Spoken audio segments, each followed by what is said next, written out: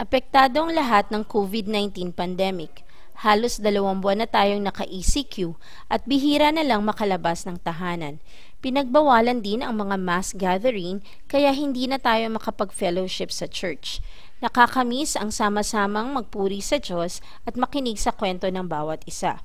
Siyempre, apektado rin ang pisikal na pagkolekta ng tithes and offering.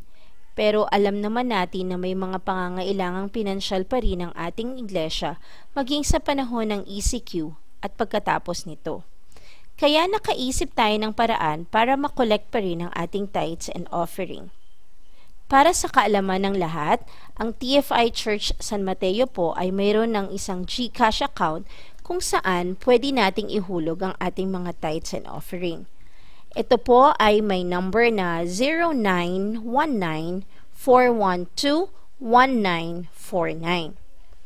Ang GCash po ay isang uri ng e-wallet kung saan pwede tayong bumili gamit ang funds na laman nito at pwede rin tayong tumanggap ng funds mula sa iba. Cash in po ang tawag pag gusto nating hulugan ng pera ang GCash account ng TFI. Para sa mga gustong online na lang ang lahat ng transaction, I suggest na i-download nyo po ang GCash app sa Play Store. Pero para po naman sa mga walang GCash, pwede pa rin po kayong maghulog ng tithes and offering nyo sa TFI Church San Mateo GCash account number 0919-412-1949 sa mga sumusunod na payment centers. Ilan sa mga ito ay ang SM, LBC, True Money, Bayad Center, at 7-Eleven. Ang mga nabanggit ko po ay ang mga pinakamalapit sa ating iglesia. Dito po sa atin, ang pinaka-convenient ay sa 7-Eleven. So, ituturo ko po sa inyo step by step kung paano siya gawin. Step 1, pagpasok niyo po sa 7-Eleven store, hanapin agad ang kiosk na ganito. Kung DBC si kuya o ating cashier, sasamahan kanya sa kiosk at igaguide kung ano ang dapat gawin. Step 2. Piliin at i-click ang e-money sa mga options na ito. Step 3. Piliin at i-click naman ang GCash.